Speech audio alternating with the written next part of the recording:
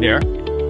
So today I'm going to show you how to connect your Revit model with an LLM. In the past, we created a series of tutorials uh, that show you how to create your own chatbot that were uh, able to talk directly with Revit and even run some code. So uh, we find that there is a new team in town that is called Revit MCP. They created a simple way to install an MCP server, which is a service that allows you to connect with LLM. MCP stands for Model Context Protocol.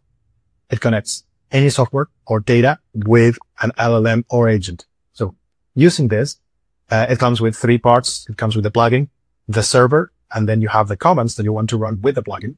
Those three allow any LLM with an API and get an MCP capabilities to connect with your Revit model. Let me show you how it works. So first you open Revit. You have to compile the MCP plugin and switch it on in order to connect with your LLM. I'm going to use Claude because why not? It's connected directly and I can do queries directly on the chat that are going to be talking with the mob. So just saying hi. Why not? Not be polite. Um, so hi. Um, can you lift all the walls in my model? Notice that I'm not saying, Hey, I have a Revit model open, uh, anything. I'm not giving the LLM any context as the RCP is already, the MCP is already connected. I don't have to do everything, everything to declare exactly what I want. It will understand by context. So it's saying here that it's showing me a list of the types available in the model that I have open. I have basic walls, curtain walls. I have uh, more details. Uh, it has a 50 uh, walls. It may have more. It's limited to the results they're going to show, the levels, the heights, the thickness. It's really cool to query data. I can talk directly with it. But not only that, I can use this chatbot to run code and, or to run selections or to create new elements. So let's just, just do that. So I'm going to ask the model to create a new mod, a new wall in the model. I'm going to information about the type, the height, anything. I'm just going to leave that out for the LLM to compute.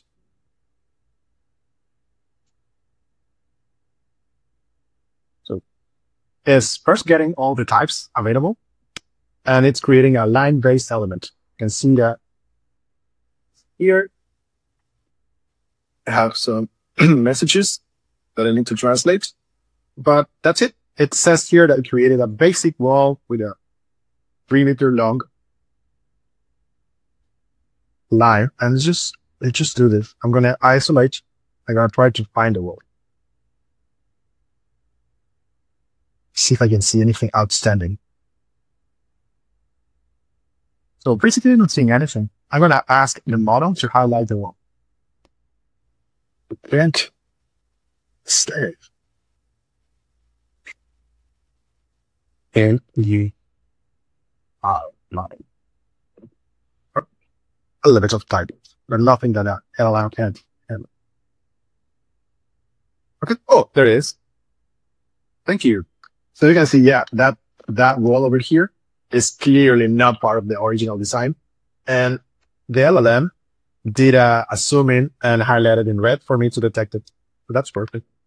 So this opens a plethora of new opportunities to connect your model and uh, to extract information.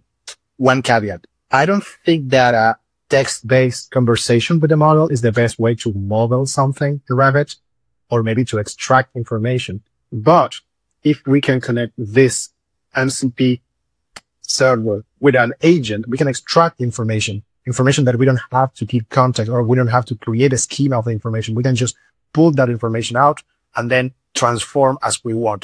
So that's the real power of this implementation. Okay. I hope you like it. Uh, let me know if you plan to use it or if you have any ideas of cool projects to, to run with this.